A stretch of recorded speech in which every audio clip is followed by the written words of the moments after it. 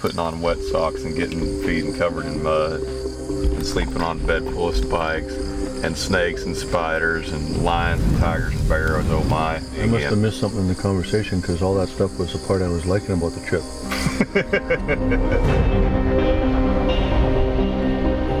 Hunting in the wildlands, it's 100% natural.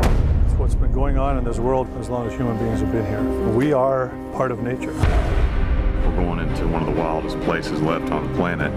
I'd be lying if I didn't have a little trepidation about it. We're about to go hunt a very, very dangerous animal. The longer we stay here, the more chance we have of something bad happening. But you can't go to these uncharted parts of the world without accepting some measure of risk. That's life. That's living. And you will not take my life away from me. This is a dangerous place.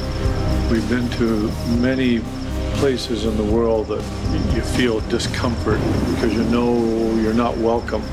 But this place, nobody's welcome.